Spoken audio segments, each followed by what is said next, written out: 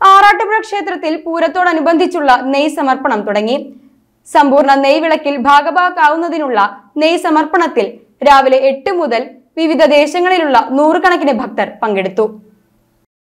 ക്ഷേത്ര നടപ്പുരയിൽ ഒരുക്കി വെച്ചിരുന്ന ഊട്ടുചരക്കിലാണ് ഭക്തർ കൂട്ടമായി നെയ് സമർപ്പിച്ചത് Cochin Devaswom board president doctor M K Sudarshan അംഗങ്ങൾ M P Muraleedharan Premraj Chundalath commission C Anilkumar secretary P Bindu deputy commissioner Sunil Kartha Thiruvanchikulam group assistant commission M R Mini Arattupuzha Devaswom officer U Anilkumar എന്നിവരും ശാസ്താവിന് നെയ് സമർപ്പിച്ചു.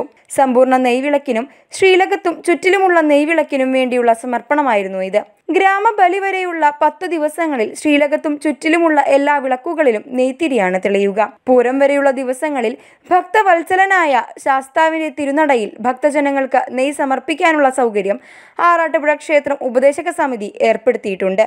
ശാസ്താവിന് നിവേദിച്ച കടുമധുര പായസം പ്രസാദമായി നൽകി.